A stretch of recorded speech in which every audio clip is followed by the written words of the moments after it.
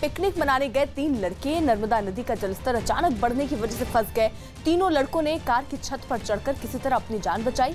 इसके बाद लड़कों को बचाने के लिए प्रशासन की ओर से रेस्क्यू ऑपरेशन कर तीनों को सुरक्षित बचाया गया। तो ये तस्वीरें जरा देखिए किस तरीके से इस बाढ़ के पानी में तीन लड़के जो हैं, वो यहाँ फंस गए, जिसके बाद हालाँकि उन्हें वहाँ से निकाला जा सका। तीन लड़के नर्मदा नदी का जलस्तर अचानक बढ़ने की वजह से फंसे। तीनों लड़कों ने कार की छत पर चढ़कर किसी तरह अपनी जान बचाई। इसके बाद लड़कों को बचाने के लिए प्रशासन की ओर से रेस्क्यू ऑपरेशन किया गया और तीनों को सुरक्षित बचाया जा सका। यानी किस तरीके से जलस्तर जो है वो बढ़ रहा है, बारिश हो रही है, कई नदियाँ जो है वो उफान पर है, जिसके कारण जलस्तर लगातार बढ़ता जा रहा है और इसी जलस्तर बढ़ने की वजह से तीन लड़के जो हैं इस पानी के बीच में फंस गए। हालाँकि उन्होंने कार की छत पर बैठकर अपनी जान बचाई। तब तक प्रशासन के लोग रेस्क्यू टीमें वहाँ पहुँच चुकी थी और उन्हें रस्सी की मदद से धीरे धीरे सुरक्षित किनारों तक लाया गया।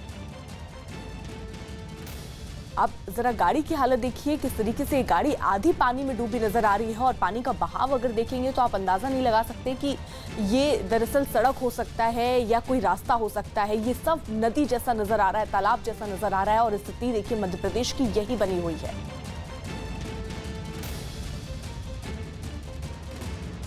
मध्य प्रदेश से रायसेन से मनोज शर्मा हमारे साथ हमारे सहयोगी इस वक्त जुड़ चुके हैं। मनोज, जिस तरीके की स्थिति हम देख रहे हैं मध्य प्रदेश में कौन कौन से इलाके हैं जो सबसे ज़्यादा बाढ़ से प्रभावित है?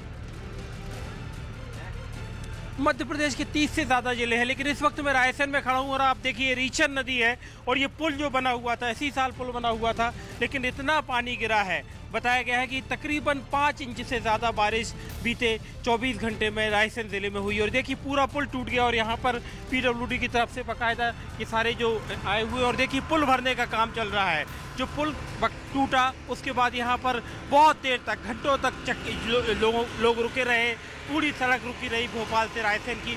अब इस पुल को भरने का काम चल रहा है क्योंकि पुल पूरी तरह से बैठ चुका है। तो यहाँ पर यहाँ पर देखिए आप ये ये देखिए मैं दिखाता हूँ आपको, रीचन नदी पर किस तरह ये पुल जो है टूटा हुआ है और पूरा पुल बैठ गया और इसको भरने के लिए यहाँ पर तुरंत भोपाल से पीडब्ल्यूडी विभाग की तरफ़ से इस पुल को भरने का काम किया गया, क्योंकि बड़ी तादाद में भोपाल से रायसेन का जो रास्ता है अच्छा खासा रास्ता चलता है और बड़ी तादाद में यहाँ पर जो लोग होते हैं, रायसेन और भोपाल के बीच आना जाना होता है। तो रीचन नदी पर जो पुल है, वो टूट गया है, क्षतिग्रस्त हो गया है और जिसको रिपेयर करने का काम यहाँ पर मेरे सामने आप देख रहे हैं किया जा रहा है। ये आप लोग यहाँ पर कब से देख रहे हैं ये जो पुल कितनी देर से टूटा हुआ था? तो कितनी देर हो गई? दो तीन दो तीन घंटे हो गए।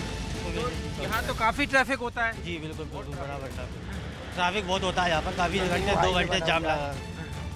न्यू हाईवे बना हुआ है अभी चालू हुआ है हाईवे इसी साल इसी साल पहली बार में ही पुल टूट गया देखिए आप। पहली बार में ही टूट गया? अभी कुछ ही दिन हुए। स्टार्ट हुए इस हाईवे को। एक महीना भी नहीं हुआ है मतलब क्या बोलते चालू हुए हुए।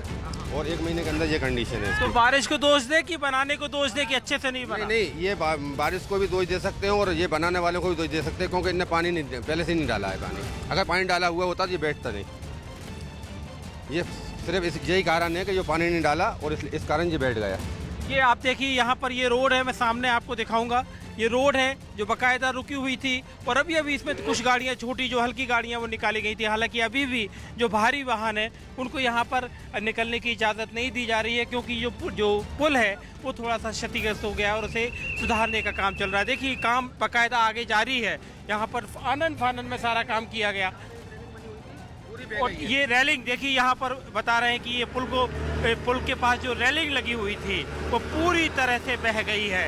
यानी जो रायसेन में पाँच इंच से ज़्यादा बहुत बहुत शुक्रिया, मनोज, तमाम जानकारी के लिए जिस तरीके की बात आप मध्य प्रदेश की स्थिति हम तक पहुँचा रहे हैं, वहीं उज्जैन की अगर बात करें तो उज्जैन में जो मंदिर है, अब पानी का स्तर ऐसा पहुँचा है कि आप देखिए जरा कि मंदिर आधे से ज़्यादा वहाँ पर डूब चुके हैं। ये भी तस्वीर जो है, ये बयां करती है कि मध्य प्रदेश में स्थिति क्या है। उज्जैन में देखिए, ज़्यादातर जो मंदिर है, मंदिर परिसर में पानी भर चुका है, कई मंदिर जो हैं वो यहाँ पर डूब चुके हैं।